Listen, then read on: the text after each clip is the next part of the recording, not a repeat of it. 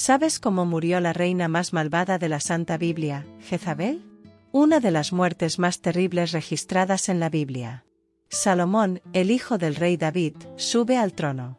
Sin embargo, sus decisiones equivocadas marcan el comienzo de una serie de malas elecciones por parte de los reyes que le suceden, muchos de los cuales se entregan a la adoración de ídolos, alejándose de Dios. Finalmente, llegamos al reinado del rey Acab.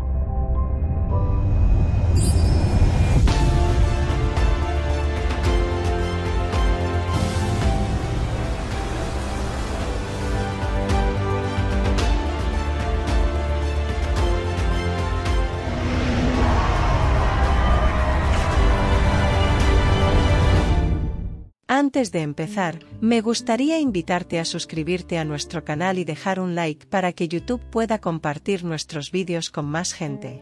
Esta historia llena de detalles, misterio y revelaciones pone de relieve la importancia de mantener la integridad y la honestidad, incluso cuando nos seducen las sombras del poder y la ambición. Y la historia del rey Acab y la reina Jezabel sigue siendo una lección sobre los peligros de la codicia y las prácticas turbias, incluso en medio del glamour y la belleza exteriores. Acab, hijo de Omri, comenzó su reinado en el año 38 de Asa, rey de Judá. Pertenecía a la tercera dinastía. Se casó con Jezabel, hija del rey de los sidonios Etbaal. El rey Ahab permitió que Jezabel levantara un altar para adorar al ídolo Baal en Samaria, permitiendo que Jezabel y otros en su reino adoraran a dioses paganos. Jezabel era hija del rey de los sidonios Setbaal, en Primero de Reyes 16:31 dice que era Sidonia, que es un término bíblico para referirse a los fenicios en general, y su matrimonio con Ahab fue el resultado de una alianza destinada a fortalecer las relaciones entre Israel y Fenicia. Ahab no tenía temor de Dios. Influenciado por su esposa Jezabel, Acab empezó a adorar al dios Baal, y por ello, la Biblia dice que fue peor que todos los reyes de Israel que le precedieron. Parte de su maldad se atribuye a su malvada esposa, Jezabel, hija del rey fenicio Etbaal, que se convirtió en reina al casarse con Ahab, el séptimo rey de Israel. Jezabel, adoradora del dios cananeo de la fertilidad, resulta ser una mujer influyente, poderosa y extremadamente malvada, como se menciona en Primera de Reyes 21-25. Acab sucumbe a la maldad ante los ojos del Señor, pero Jezabel desempeña un papel crucial en su caída. En un Reyes 18, ella conspira para eliminar a los profetas de Dios, desafiando directamente al Dios de Israel e intentando matar a sus siervos. La crueldad de Jezabel no tiene límites, como se evidencia en un Reyes 18, 4, donde persigue a los profetas del Señor, obligando a Abdías a esconder a los profetas en una cueva. Jezabel dirige con puño de hierro, manipulando a Ahab y retándolo a cometer actos malvados.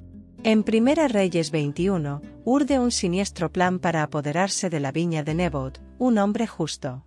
La trama incluye falsas acusaciones, testigos inventados y la injusta ejecución de Nebot. El profeta Elías es enviado por Dios para denunciar la maldad de la pareja real, anunciando su juicio. La historia revela cómo el deseo desenfrenado de poder y riqueza puede conducir a actos de maldad e injusticia. Jezabel, incluso ante la oportunidad de arrepentirse, elige el camino de las tinieblas. El profeta Elías desafía a los adoradores de Baal, demostrando la superioridad del Dios de Israel en un duelo divino. La influencia de Jezabel sobre Ahab resultó devastadora, nublando el juicio del rey y socavando su autoridad. En su obstinación, alejó al rey y a la nación de los caminos de Dios, incitando al mal y a la idolatría. Pero ella no era la única en esta familia. En otro vídeo, cuento la historia de Talía, la hija de Acab y Jezabel, que fue peor que Jezabel, matando a sus propios nietos para permanecer en el trono. Vean el vídeo a continuación, dejaré el enlace en la descripción. La historia más notable se cuenta en Primero de Reyes 21, cuando Jezabel deseó la viña de Nebot, él estaba dispuesto a comprarla, pero la oferta fue rechazada, porque la ley de Dios prohibía la venta de esa tierra, que era una reliquia familiar.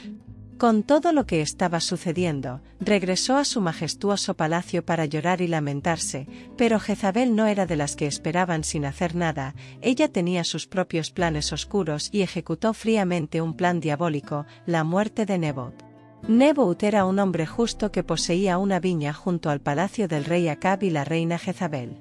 El rey Ahab quería comprar la viña de Nebot para convertirla en un jardín, pero Nebot se negó a venderla.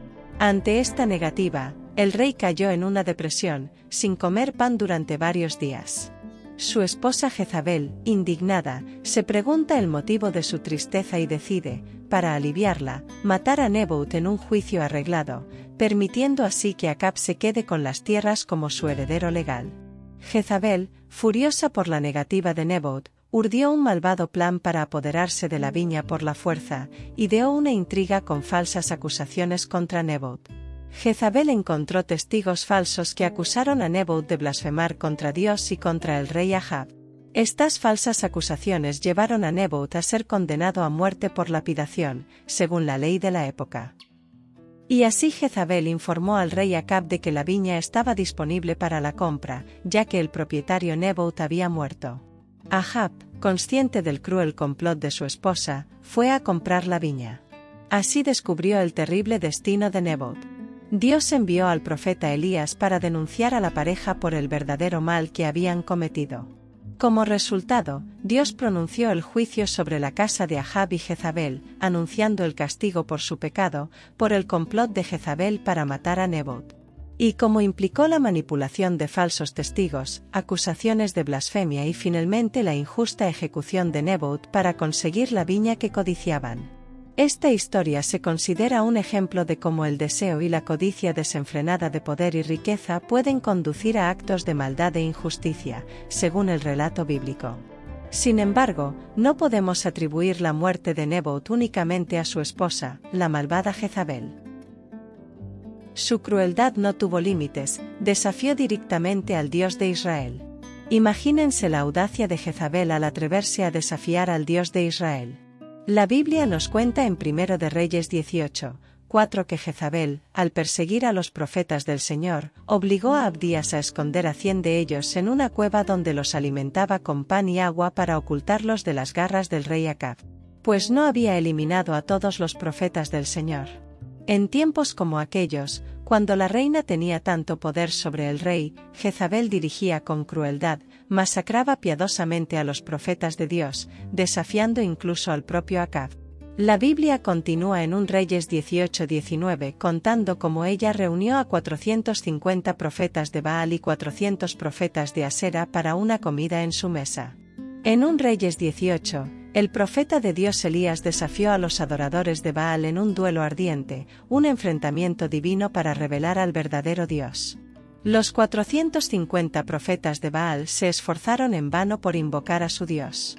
Fue entonces cuando Elías fue respondido con una sola oración. Trajo fuego del cielo y demostró la superioridad del Dios de Israel, y la multitud feliz fue testigo del poder de Dios.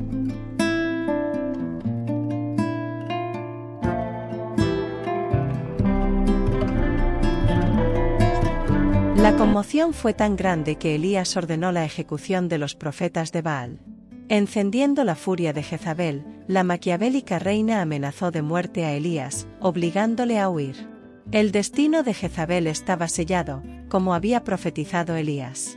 Así que su terrible muerte llegó cuando fue arrojada por una ventana por sus propios sirvientes, pisoteada por caballos y devorada por perros hambrientos. La historia de Jezabel es una advertencia contra la corrupción, la codicia y la influencia maligna que pueden infiltrarse en las esferas del poder. Ella personifica la figura de quienes, al elegir el camino del mal, afrontan las consecuencias inevitables de sus actos, decretadas por la justicia divina. La trayectoria de Jezabel, marcada por la idolatría, la manipulación y la crueldad, constituye una lección imperecedera sobre los peligros de la desobediencia a Dios y la necesidad de rectitud en los caminos de la vida. Que su historia sirva de solemne advertencia, instando a todos a buscar la justicia, la rectitud y la obediencia a Dios en sus vidas. La muerte de Jezabel es consecuencia directa de sus malvadas acciones. Ante la oposición de Jehú, huye a la torre del palacio, donde es traicionada por sus sirvientes y arrojada por la ventana. Más tarde, su cuerpo es pisoteado por los caballos y devorado por los perros, cumpliéndose así la profecía de Elías. La muerte de Jezabel sirve como poderoso recordatorio de las consecuencias de las decisiones y acciones humanas, especialmente cuando se basan en la maldad y la desobediencia a Dios. Incluso ante la oportunidad de redimirse, Jezabel persistió en su oscuro camino, poniendo en marcha los acontecimientos que culminaron en su trágica muerte. Que aprendamos de esta antigua narración y busquemos la sabiduría divina en nuestros propios caminos. La Biblia nos ofrece valiosas lecciones que trascienden los siglos, guiándonos hacia elecciones que reflejen la verdad, la bondad y la justicia. Si te gustó esta historia de Jezabel y quieres seguir reflexionando sobre las enseñanzas de la Biblia, te invito a ver el vídeo de Atalía, la hija de Jezabel, que fue más cruel que su madre porque no tuvo piedad de su propia sangre, y también te invito a suscribirte a nuestro canal. Aquí buscamos compartir historias, estudios y reflexiones que puedan enriquecer tu comprensión de la palabra de Dios. Al suscribirte, pasas a formar parte de una comunidad comprometida con el crecimiento espiritual y la comprensión de las escrituras. Juntos, podemos explorar más profundamente las verdades eternas contenidas en la Biblia. Haga clic en el botón de suscripción, active las notificaciones y embárquese en este viaje de descubrimiento espiritual.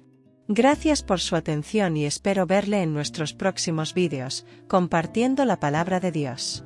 Que la paz y la sabiduría de Dios estén siempre presentes en tu vida. Que Dios te bendiga.